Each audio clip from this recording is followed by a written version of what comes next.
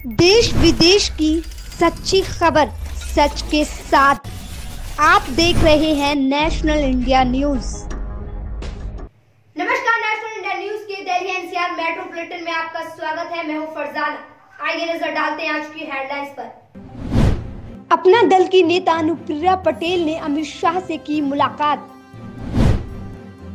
विदेश मंत्रालय और वायुसेना की संयुक्त प्रेस कॉन्फ्रेंस हुई। विदेश मंत्रालय पाकिस्तान के दावों की जाँच की जा रही है। दिल्ली विधानसभा में वायुसेना को दी गई बधाई, वंदे मातरम और भारत माता की जय का उद्घोष। 24 दिन से जिस शख्स को ढूँढने में एक किया ज़मीन आसमान, थाने के बाहर मिला उसका श... तुष्टयाना से लापता युवक की हत्या, कुत्तों ने नोचा शव। शिष्या से दुष्कर्म मामले में कोर्ट ने पूछा, दाती को गिरफ़्तार करने का प्रस्ताव कब भेजा? देश भर में हाई अलर्ट कई एयरपोर्ट बंद, कहीं बढ़ाई गई सुरक्षा तो कहीं उड़ाने रद्द। दिल्ली के करोल बाग में चार मंजिला इमारत ढही, पाँच दमकल की गाड़ियाँ मौके पर, कोई हाथाहाथ नहीं। तेज रफ्तार कार ने पहले एक शख्स को कुचला, फिर नाले में पलटी, दो लापता। प्रधानमंत्री ने रात भर जाग कर रखी थी एयर स्ट्राइक पर नज़र, तभी किया आराम जब वापस आए लड़ाकू विमान।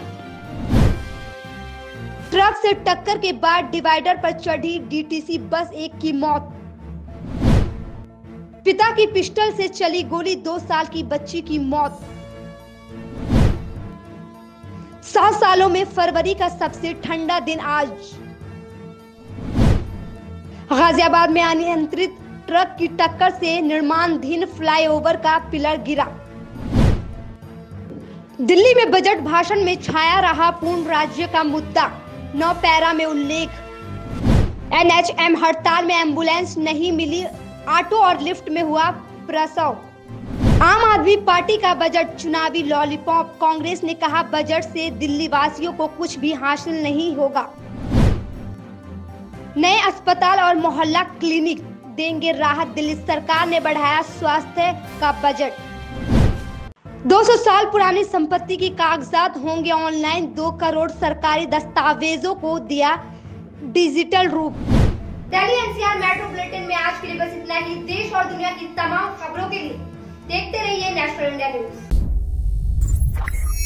देश विदेश की सच्ची खबर सच के साथ।